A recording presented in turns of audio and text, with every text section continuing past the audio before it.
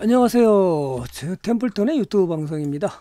어, 짧게 한번 시장을 살펴보겠습니다. 음, 오늘 아침부터 지수는 빠졌었고요. 음, 시장을 지금 강보합에서 약보합으로 계속 무너져 내렸고요.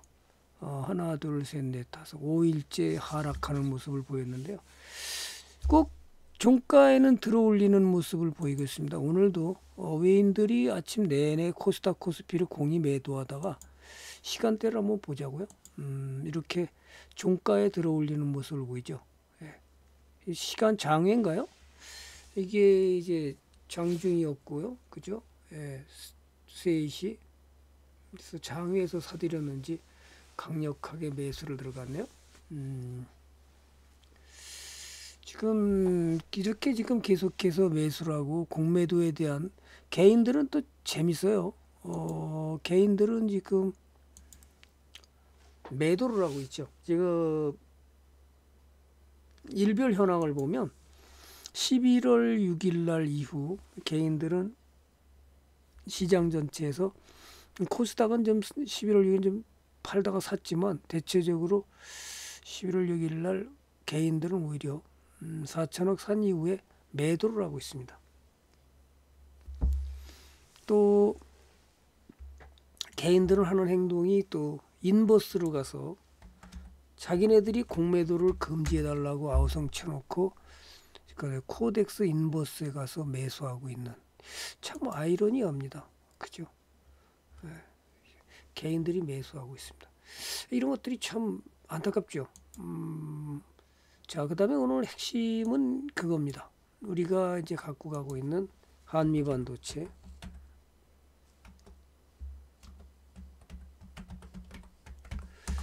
오늘 외인들이 집중 매도로 이 그 지금까지 어 투자자별을 보면 그 외인들이 지금 한 300만 주를 매수했었거든요. 어 오늘은 110만 주를 팔았습니다.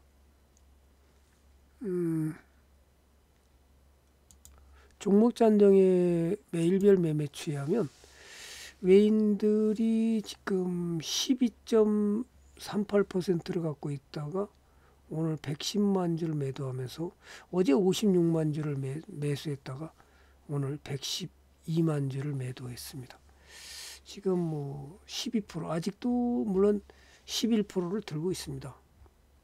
1년치 평균 매수가를 평균가를 분석해 봤더니 대체적으로 한 50% 정도 수익, 수익이 났나요? 네, 지금 3개월 평균으로는 뭐 지금 1%뿐이 수익이 안 나 있습니다. 3개월 평균으로는 그런데 이제 1년으로 따진다 그러면 한 50%. 자, 차익 실현이냐 아니냐 이제 이게 문제가 되는 거고요. 또 하나는 이제 그 이 결정적인 원인은 음, 어닝 쇼크죠. 어, 지금 이제 문제가 되는 것이 반도체가 한미 반도체가 어, 3분기 매출액 기준이 어,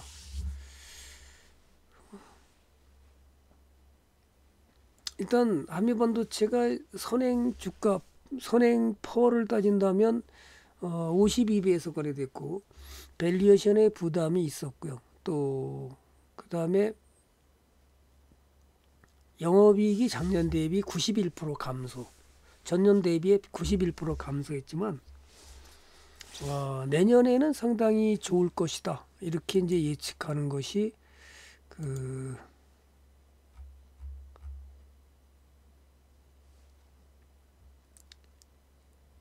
원인이 뭐냐하면 일단 그 지금 충당금 설 증권가에서 이제 내부 회계 기준 변경에 따라서 충당금 설정과 주력 제품인 마이크로 소엔비 vision placement MSVP 장비 매출 인식이 지연으로 돼서 아마 그 9월달 그 뭐죠?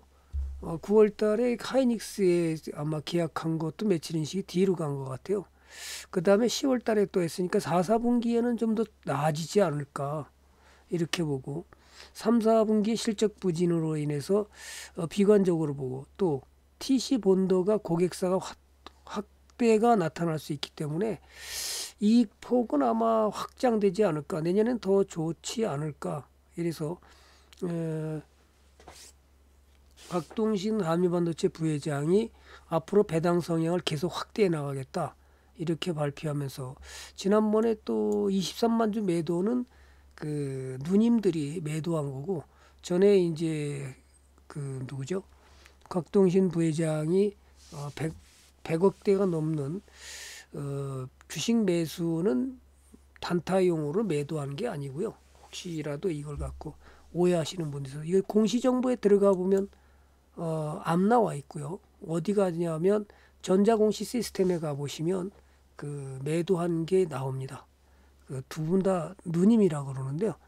그런 거에서 공시 정보를 보고 아 이거 큰일 났다. 뭐 이렇게 하지는 않아도 되지 않나. 그 다음에 오늘 많이 빠지긴 했지만 어, 4, 4분기 이어서 내년엔 실적 개선 가능성이 더 커 보여서 너무 뭐 외인들이 이렇게 팔았다고 그래서 당장 이거 무너지다. 이제 오늘 그래서 한미반도체는 실적 어닝 쇼크로 인해서 창사 이래 최대 규모의 현금 배당을 발표했죠. 3, 4분기 실적 쇼크 여파로 주가가 큰 폭에 떨어지니까 이제 400 얼마죠? 음, 배당을 어 배당을 많이 주겠다. 430원인가요? 예, 정확히 지금 얼마 주나요? 그래서 배당도 어 420원 주당 배당이 420원을 주면서 그 실적 부진을 갖다가 어 좀 완화해 보려고 그랬던 것 같기도 하고요. 이제는 앞으로도 배당 성향을 계속 확대시킨다 그러니까 좀 긍정적이고요. 또 하나는 이제 그 뭐죠? 어, 실적에 대한 그 지연 이래서 아마 실적이 더 부진했던 게 아닌가. 그래서 아마 3, 4, 4, 4분기에는 좀 더 실적이 개선될 것으로 보고요. 그 다음에 어, 장기적인 관점에서 보면 지금 뭐 팔아야 될 이유는 저는 없다고 제 생각엔 그렇습니다. 여러분도 이런 것들을 조사해 보면서 어, 어떻게 대처하는 것이 가장 현명하냐. 아직까지 추세는 살아 있고요. 지금 무너진 게 아니거든요. 오늘 좀 어, 외인들이 매도하면서 얘만 매도한 게 아니라 오늘 대체적으로 엔비디아 수혜주들, 엔비디아 수혜주들이 대체적으로 다 매도를 강세로 해서 전부 다 많이 떨어졌습니다. 반도체 그동안에 못 올라갔던 반도체 어 그죠? 이 AI 관련 반도체 말고는 오히려 오늘 반등을 했고요. 이 관련 종목들이 대체적으로 오늘 조정을 받았습니다. 그래서 너무 비관적으로 보지 말고 어, 추세만 살아 있다면 여러분은 어, 강력하게 보유하는 것도 괜찮아 보이고요. 또 추세가 꺾일 때 그때 고민하고요. 지금은 고민할 이유가 없다.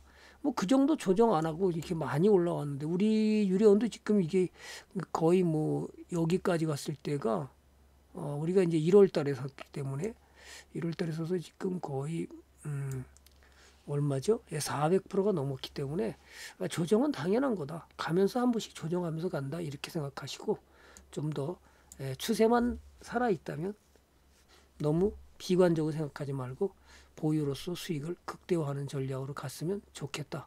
이렇게 말씀드리고 싶고요.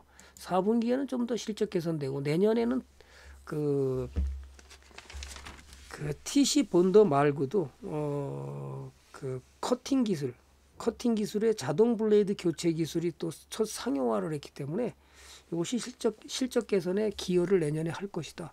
이렇게 보고 여러분이 너무 비관적으로 잘 대응하셨으면 좋겠네요. 자, 추세만 살아 있다면 끝까지 가보고 추세 무너질 때 그때 고민하라. 이렇게 보시고 말씀을 드리고 싶습니다.